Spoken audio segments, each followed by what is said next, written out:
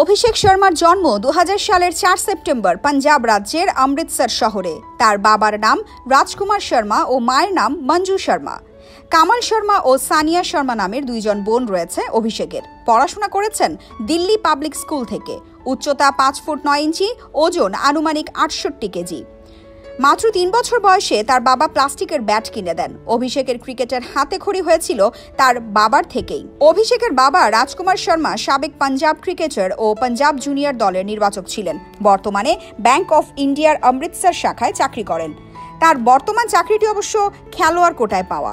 অভিষেক শর্মা ছোট থেকেই মেধাবী ছাত্র ছিলেন। মাধ্যমিকে আশি শতাংশ নম্বর পেয়ে উত্তীর্ণ হন।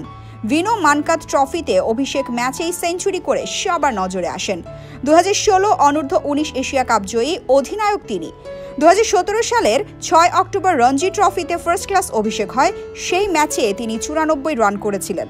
পরবর্তীতে দু হাজার আঠারো অনূর্ধ্ব উনিশ বিশ্বকাপ জয়ী দলেরও অন্যতম গুরুত্বপূর্ণ সদস্য ছিলেন।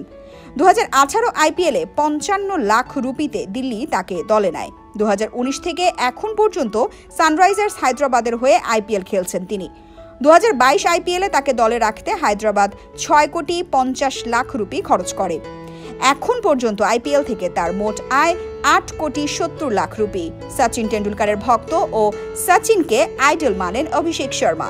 অবসর সময়ে ভিডিও গেম খেলেন ও ঘুরতে পছন্দ করেন।